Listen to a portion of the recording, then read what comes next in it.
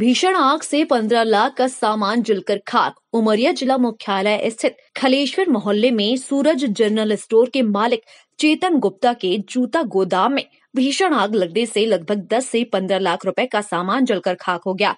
Fire fighter Alok Dwivedi, Gopal Kacher और सुनील मिश्रा को जैसे ही सूचना मिली, तत्काल मौके पर पहुंचकर आग बुझाने में जुट गए।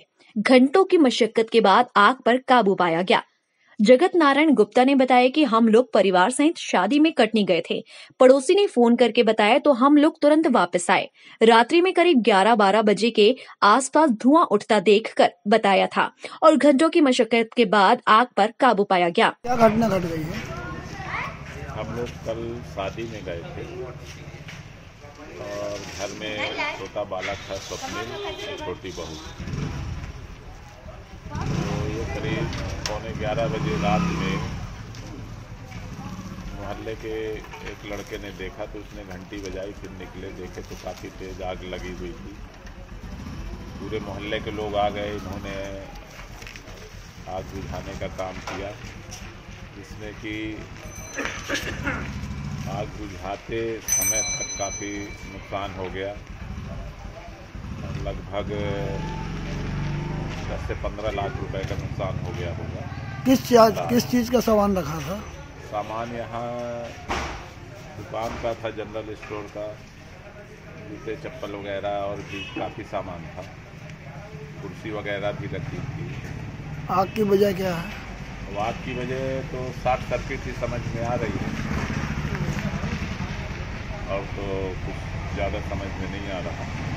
टाइम एट मध्य प्रदेश के लिए उमरिया से सुरेंद्र त्रिपाठी की रिपोर्ट। मैं हूँ सीमा वर्मा और आप देख रहे हैं time at Madhya Pradesh. Time at Madhya Pradesh आपका अपना चैनल है।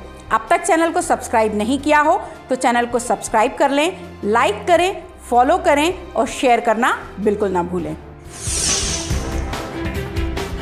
भीषण आग से 15 लाख का सामान जलकर खाक उमरिया जिला मुख्यालय स्थित खलेश्वर मोहल्ले में सूरज जनरल स्टोर के मालिक चेतन गुप्ता के जूता गोदाम में भीषण आग लगने से लगभग 10 से 15 लाख रुपए का सामान जलकर खाक हो गया। फायर फाइटर आलोक द्विवेदी, गोपाल कचेर और सुनील मिश्रा को जैसे ही सूचना मिली, तत्काल मौके पर पहुंचकर आग बुझाने में जुट गए। घंटों की मशक्कत के बाद आग पर काबू पाया गया। जगत नारायण गुप्ता ने बताया कि हम लोग परिवार सहित शादी में कटनी गए थे। पड़ोसी ने फ़ोन करके बताया तो हम लोग तुरंत वापस आए। रात्रि में करीब 11-12 बजे के आसपास धुआँ उठता देखकर बताया था और घंटों की मशक्कत के बाद आग पर काबू पाया गया। क्या घटना घट गई है? हम लोग कल शादी में गए थे और घर में छोटा बालक था स्वप्निल छोटी बहू तो ये करीब पौने ग्यारह बजे रात में मोहल्ले के एक लड़के ने देखा तो उसने घंटी बजाई, फिर निकले, देखे तो काफ़ी तेज आग लगी हुई थी। पूरे मोहल्ले के लोग आ गए, इन्होंने आग बुझाने का काम किया, जिसमें कि आग बुझाते समय तक काफ़ी नुकसान हो गया। लगभग दस से पंद्रह लाख रुपए का नुकसान हो गया होगा। किस चीज़ किस चीज़ का सामान रखा था? सामान यहाँ दुकान का था जनरल स्टोर का जूते चप्पल वगैरह और भी काफ़ी सामान था। कुर्सी वगैरह भी रखी थी। आग की वजह क्या है? आग की वजह तो शॉर्ट सर्किट ही समझ में आ रही है।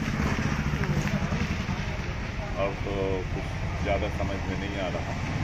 टाइम एट मध्य प्रदेश के लिए उमरिया से सुरेंद्र त्रिपाठी की रिपोर्ट। मैं हूँ सीमा वर्मा और आप देख रहे हैं time at Madhya Pradesh. Time at Madhya Pradesh आपका अपना चैनल है। अब तक चैनल को सब्सक्राइब नहीं किया हो तो चैनल को सब्सक्राइब कर लें, लाइक करें, फॉलो करें और शेयर करना बिल्कुल ना भूलें।